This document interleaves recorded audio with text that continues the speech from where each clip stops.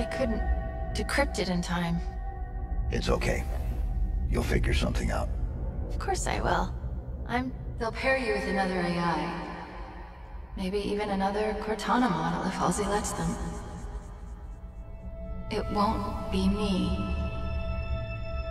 But you know that, right? But that doesn't matter. It's just another echo. She's right, John. Just another echo. Sorry, I'm messing with you. I just had a feeling that's what she would say. Do you see what I see? So much potential. I'm sorry.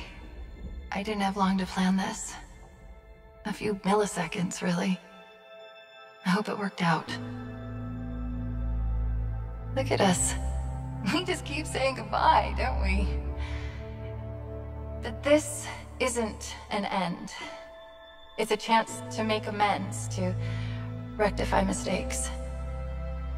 And it starts here. I was wrong. I thought that I could do this on my own. But I forgot that the whole point of all of this, the entire reason that I chose you in the first place was that we were supposed to be a team. Perfectly suited, perfectly matched, perfectly... perfect. In these final moments, I know what my last mission is. I need to make sure you two learn from my mistakes. Become stronger because of them. I chose well, Master Chief. I really did. Now, it's up to you.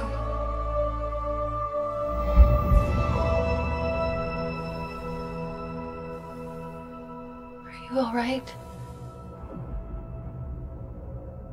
I don't know what to say.